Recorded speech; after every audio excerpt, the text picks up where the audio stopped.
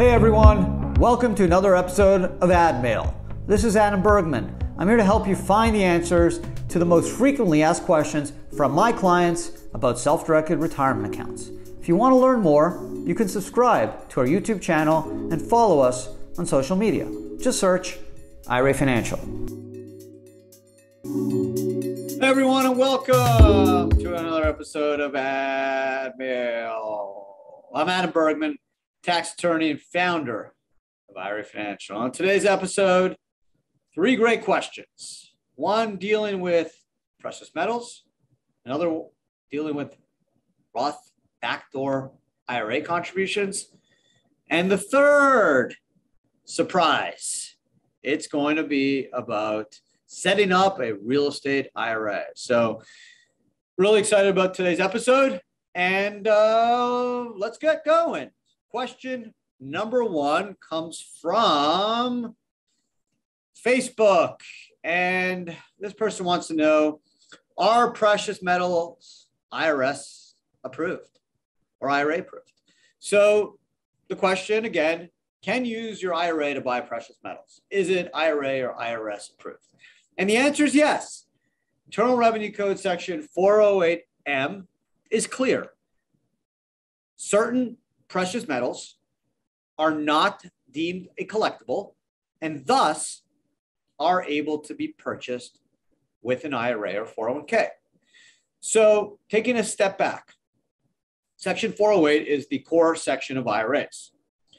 In 408M, there is a prohibition on an IRA investing in certain collectibles or a retirement account, including a 401k like art, baseball cards, anything collectible, gems, diamonds, antique cars, antique rugs. Also, an IRA is not able to buy life insurance. In addition, 408M includes a section on approved precious metals and coins that are not deemed collectibles and are thus able to be purchased with a retirement account. And essentially, in sum, and you can take a look at the code, just Google 408M and, and check out section M. And in sum this is what it says you can buy bullion bars, gold, silver, palladium bars, 0.099% finesse. You can also buy American Eagle, state minted, and bullion coins.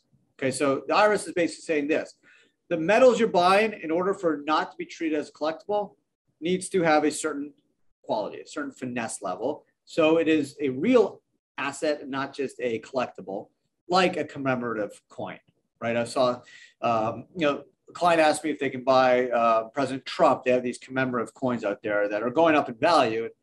You can't because the finesse isn't good enough, right? They sell for like 10 bucks or 20 bucks. The quality is just not good. So it's not going to be deemed a approved metal. It's going to be deemed a collectible.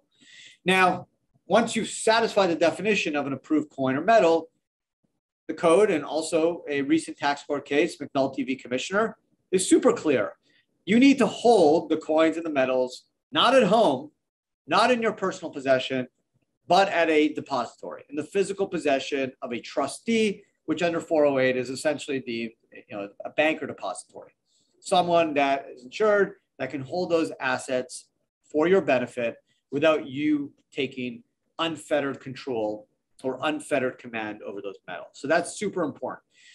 Number one is make sure you're buying bullion or coins of a certain finesse, 99%. And if you are doing that, make sure you do not hold those coins at home and you use a depository to hold those IRA or 401k owned coins. Second question is from YouTube. Can I do a mega backdoor Roth every year? So as of today, and I'm filming this first week of February 2022, you can. Why? Because the Build Back Better bill has not been passed. In the Build Back Better bill, there is a provision that limits or basically prevents anyone going forward from doing a mega a backdoor Roth IRA. What's a backdoor Roth IRA? It's essentially a way that someone that earns more than $214,000 this year, married, filed jointly, can do a Roth IRA. Why? Because the regular Roth IRA rules say that if you make more than 214,000 bucks, you're ineligible to do a Roth IRA. But during the financial crisis of 2009, the IRS created rules that allowed a taxpayer to do Roth conversions irrespective of income levels. And this included any type of conversion, traditional to Roth and also after tax to Roth. Why? The IRS needed money. And conversions are a really way, good way of generating more tax revenue because you're getting people to prepay taxes. So they got rid of that rule. They haven't touched that in over 10 years. And in this version of the Build Back Better, which is technically sleeping, it will probably come back at some point in 2022. I don't think the Democrats will lose this opportunity with control of the House and Senate and the presidency. Don't think they're going to walk away from the opportunity to um, have some type of bill um, that has uh, certain programs that they feel strongly about. Maybe, hopefully, some of these IRA provisions will get kicked out, including a $10 million cap and the elimination of the mega backdoor IRA and, a 401k and the backdoor IRA. So far, it's still in the bill, but the bill is dormant. So we're still able to do backdoor Roth IRAs this year. So if you want to do a backdoor Roth IRA, for 21, do it now. If you want to do it for 22, do it now also.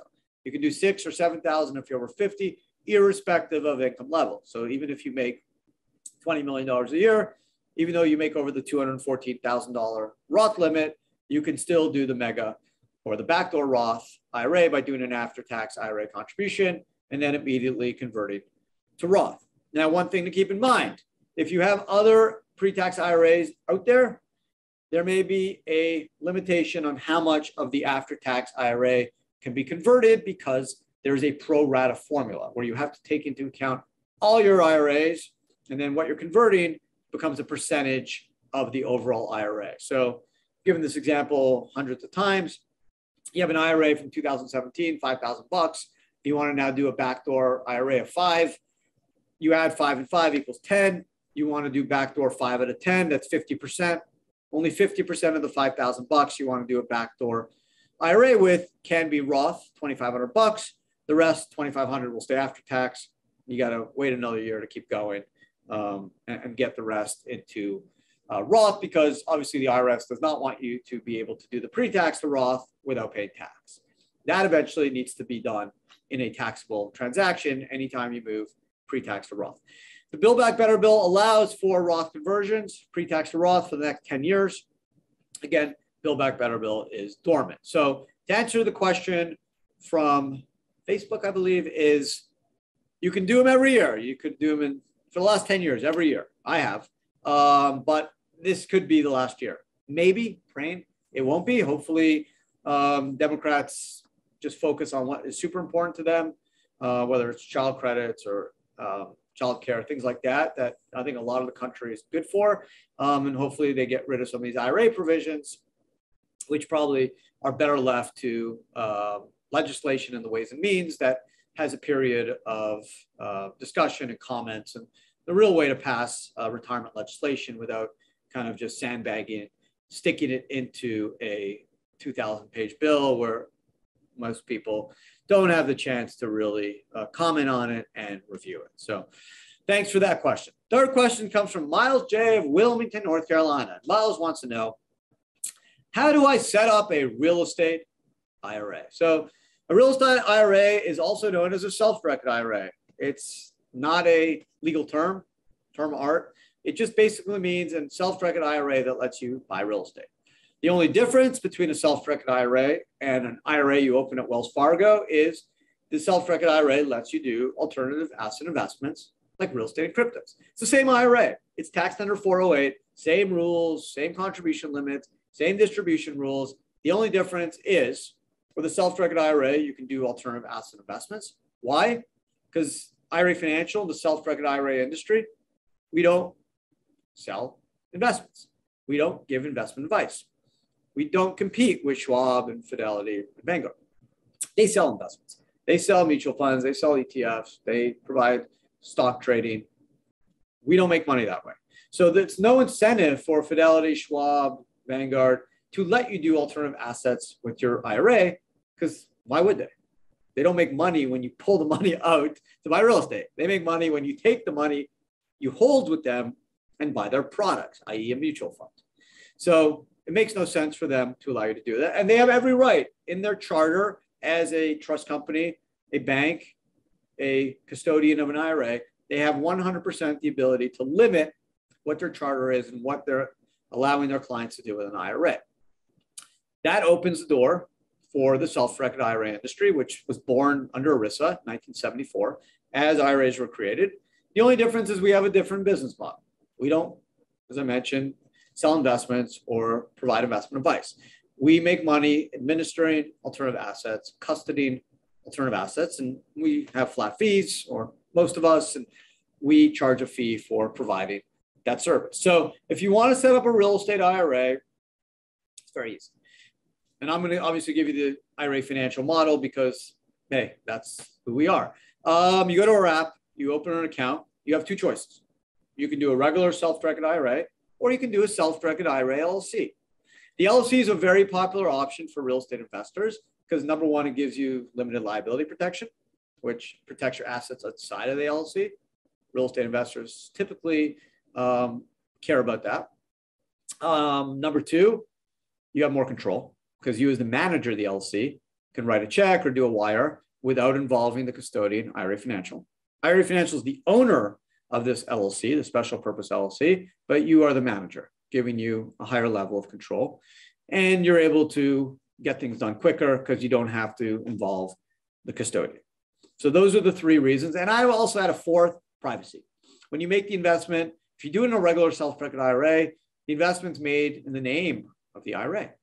For example, IRA Financial Trust Company, custodian for the benefit of Adam Bergman's IRA. If you do it in LLC, you call your LLC ABC LLC, the real estate would be purchased in ABC LLC's name. So it'd be much more difficult to find out who owns ABC LLC, which for real estate investors and, and trying to limit exposure to creditors, that's often um, worth their while. So there's two fees. There is a setup fee for the LLC. Um, and with if you just do the self-directed IRA, there's no setup fee. It's $360 flat. If you do the LLC, it's 999. We are giving $200 cash back. So it goes down to 799. That includes state filing fees. So if you're in Texas, that's like 300 bucks. So we're not making much money, honestly. We provide you an operating agreement. We get you a tax ID number. It's just a service we provide to give you the special purpose vehicle so you can do real estate, have limited liability protection, limit exposure, make investments quicker, have a bit more control, and also have a little bit more anonymity. Um, once you decide what you want to do, self-directed IRA or the LLC. No problem. You roll the money to us tax-free.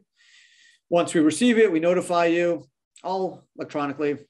Uh, then you go onto our app, fill out an investment authorization form, telling us basically to send the money to your LLC if you're using LLC.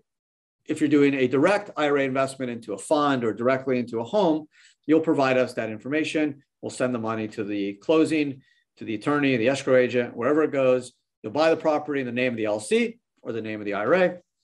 And the beauty of using a real estate IRA or a self-directed IRA to buy real estate is that all the income and gains will flow back to the IRA without tax. So if you bought the property for 100K, four years later, you sell it for 600K, 500K, no tax.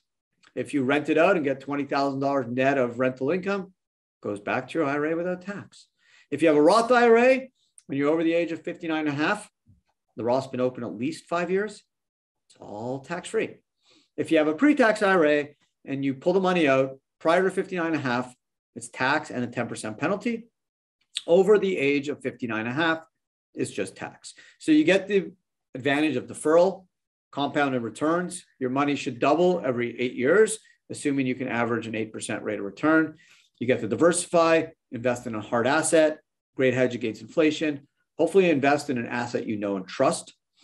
And you can do it directly through the IRA or indirectly through an LLC, giving you more control, limited liability protection, and anonymity. IRA Financial, we don't charge even wire or transaction fees. So you can do one IRA for 100 investments, right? You can buy real estate, cryptos, 20 IRA investments, real estate, tax liens, hard money loans, private equity, hedge fund, anything. One fee. Okay. No transaction fees, no wire fees, no asset valuation fees, which is important. A lot of our a lot of the competitors in our space, a lot of more of the legacy firms that have been around for 30 years or so, they charge asset valuation fees. So even though they're not providing you investment advice, they could be charging 1% of assets under their custody. So if you start off in 2004 with 100K, now it's worth 400K, you're paying 1% on that, right? It could be a few thousand bucks, if not more. We don't. Flat fees, we believe that's the right way to do it. Why? It's self directed. You make the investment, not me.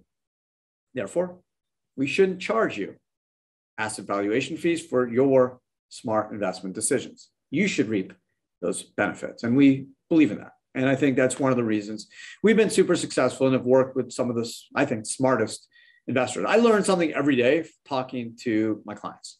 Um, some of the strategies, even tax stuff that they come up with, super interesting. I love listening and hearing about the real estate investments they're doing, whether it's domestic, international, how they're structuring it. Some really, really cool stuff that I've learned a lot. And I think you know we've been able to help them structure things using an IRA or Roth IRA, or even a solo 401k if they want to take advantage of using leverage, because a 401k allows you to use leverage in a retirement account without paying a tax known as the unrelated business taxable income or UBIT tax, which can travel as high as 37% on the net amount of the income associated with that leverage in an IRA, where it's exempted from a 401k. So that's why I think is the biggest strength of IRA Financial, besides our technology, it's really our team.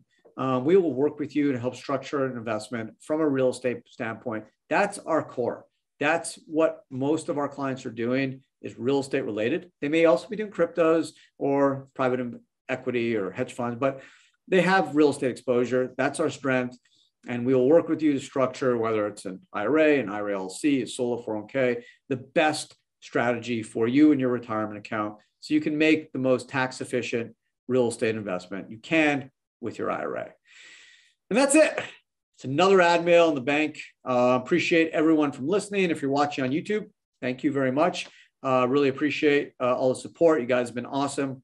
If you have questions, send them in. Send them into info IRA Financial. Hit us up on Facebook, Instagram, Twitter, LinkedIn. Um, love to hear from you. Got a lot of really, really good questions in the queue. So come back next week and you'll get to listen or watch me talk about three additional self directed retirement questions. That's it. Have a great rest of your week and talk to everyone again next week. Take care.